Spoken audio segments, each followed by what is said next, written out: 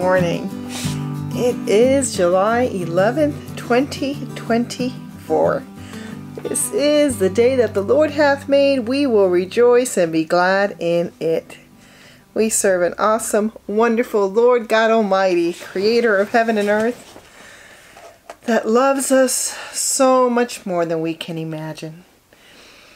He is sovereign. He is King of kings and Lord of lords. And He is the reason we are here this morning, opening up His Word, learning more about Him, about our walk with Him, because of the Spirit of God that dwells in us. Oh, we can have an understanding of this Word. You have tuned in to Matt and Randi in the morning. We're here to encourage you in the Word so that you can be strong in the faith and live victoriously in Christ. That is where true victory is found. When you know that you are in right relationship with God Almighty, who holds everything in its perfect order. That is the reason why this earth rotates just right. That our solar system works the way that it works. The ocean only goes as far as it goes. It's because God Almighty has everything under His control. And when you give your life to Jesus Christ and He becomes Lord and Savior of your life, and you allow Him to become Lord of your life, you know, the Word of God says that He knows every hair on our head. I mean, He created you unique, special. You have talents and things that God has just for you to do while we're here in our body, we have all kinds of different organs. Everything has its own place. And it all needs to work together for the body to function properly. If we all do the same thing, there's going to be things left behind. Think of a general manager of a hotel. Yes, he manages the hotel, but if there's no housekeepers to keep the place looking clean, his job would never get done if there wouldn't be bellmen, hospitality, groundskeepers. It takes all of us working together. One position is just as important as another. In the body of Christ, we all have something God has called us to do. It might be that your position right now is just writing little notes, little letters to people to encourage them. Prayer Praying intercession, intercessor, praying at home when nobody else sees you. It might be that you are the worshiper. You might be at home, just singing to the Lord, worshiping to the Lord, because that's something that is important. Your worship brings that presence of God. Don't think that you're not important because you're not up front where people see you. God sees you, and that's what's important. We talked about the widow's mite. You know, people didn't pay any attention to her. Oh, but the King of Kings and Lord of Lords did. And he makes sure, he made sure that people notice her. We're still reading about her thousands of years later. See, God knows you. He knows your heart. Don't worry about what others think. Live your life for Jesus Christ. Make up your mind that nothing is going to separate you from that love. Today I want to continue where I had left off yesterday. We had talked about, you know, that, that blessed assurance, the contentment that we have in Christ.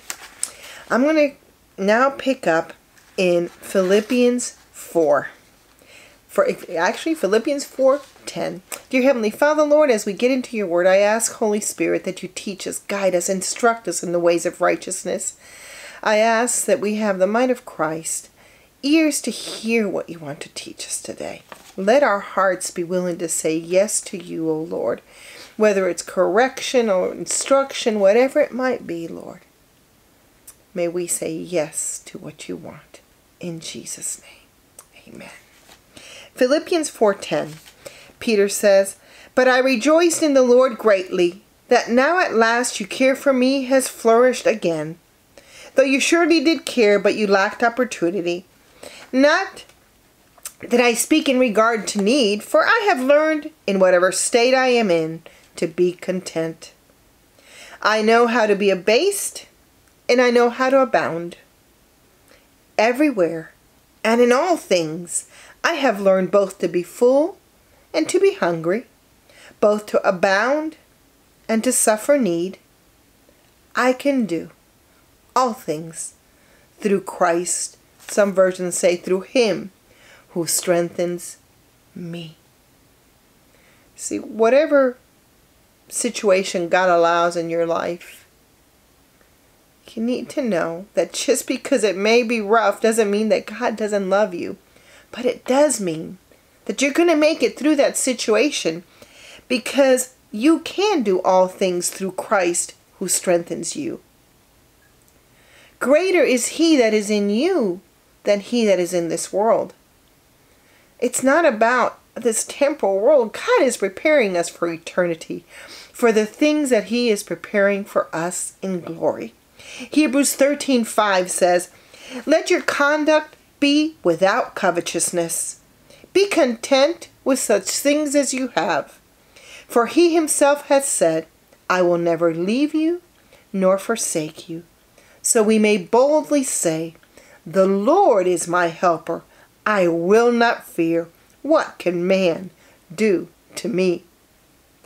See, when we keep our eyes focused on Jesus and don't worry about how little or how much we have and we trust Him, you know, if your car is an older car, it gets you from point A to point B the way you need to get there. What's the difference? It's got four wheels. That brand new Corvette or Mustang you know, or Jeep Wrangler, Rubicon 2024. Yours is still going to get you from point A to point B. Except you're not going to have the bills. It's okay. Doesn't matter. You focus on God. Let the Lord be your joy. Let that be the joy of your salvation. Have faith in Him. Know that He is preparing a place for you in a place where streets are made of gold, what we cherish so much here, streets are made of over there. I mean, it is so far beyond our understanding the things that God is preparing for those who who love him. It goes on in Romans 5 1 through I gotta read really fast. Romans 5 1 through 5 says, Therefore, having been justified by faith, we have peace with God through our Lord Jesus Christ, through whom also we have access by faith into this grace in which we stand and rejoice in hope of the glory of God. And not only that, but we also glory in tribulations, knowing that tribulation produces perseverance, and perseverance, character, and character, hope. Now, hope does not disappoint, because the love of God has been poured out into our hearts by the Holy Spirit who was given to us. What promises! What words of encouragement these are to us. Romans 8 31 through 39 says, again, I'm thinking of assurance that we have. What then shall we say to these things? If God is for us, who can be against us? He who did not spare his own son, but delivered him up for us all, how shall he not with us, with him also freely give us all things? Who shall bring a charge against God's elect? It is God who justifies. Who is he who condemns? It is Christ who died, and furthermore is also risen, who is even at the right hand of God, who also makes intercession for us. Think about that. God Almighty, Jesus, is making intercession for you before the Father. Who shall separate us from the love of Christ? Shall tribulation or distress or persecution or famine or nakedness or peril or sword? As it is written, For your sake we are killed all the day long. We are accounted as sheep for the slaughter. That's how the world sees us.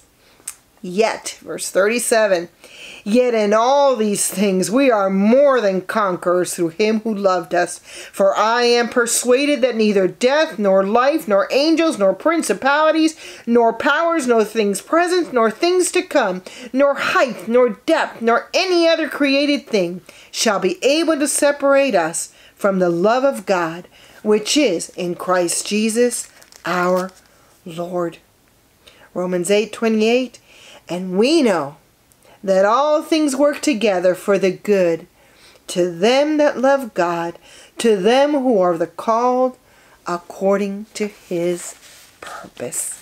And because of that, we can keep a praise song in our heart. Rejoice in the Lord always. And again, I say rejoice. And if you have not asked Jesus Christ to be Lord and Savior of your life, don't wait any longer. It doesn't have to be a formal thing. Just call out to God. Say, God, I want to know Jesus. Jesus, reveal yourself to me. Forgive me for my sins. Forgive me for the things that I've done. Forgive me for my pride. You know, forgive me for the thoughts that are wrong in my mind. Lord, cleanse me. Wash me in the precious blood of Jesus. I want to know you more and more. God hears that prayer. God hears that heart's cry. And He says that as far as the east is from the west, our sins are forgiven when we trust Jesus Christ. You have to believe He is the Son of God. He was crucified and buried, crucified for our sins. The penalty of our sins is death, and He, he bore that on the cross. He was buried, but he rose again on that third day to prove to us he truly is the King of Kings and Lord of Lords. And you can have that victory. You can have that joy and that peace that passes all understanding because of what Jesus did for you. Don't wait any longer. Call on him now. We'll see you tomorrow morning.